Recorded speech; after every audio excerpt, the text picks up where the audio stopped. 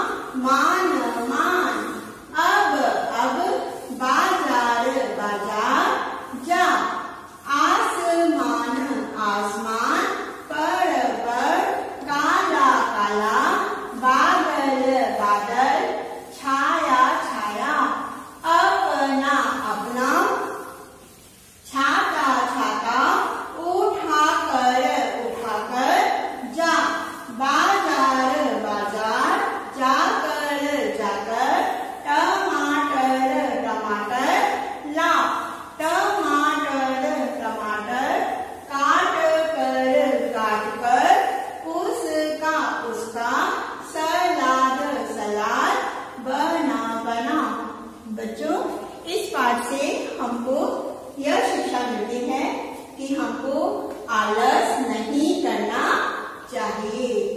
और दूसरा, अपना समय खराब नहीं करना चाहिए। और सबसे इम्पोर्टेंट थी कि हमको सबका कहना मानना चाहिए।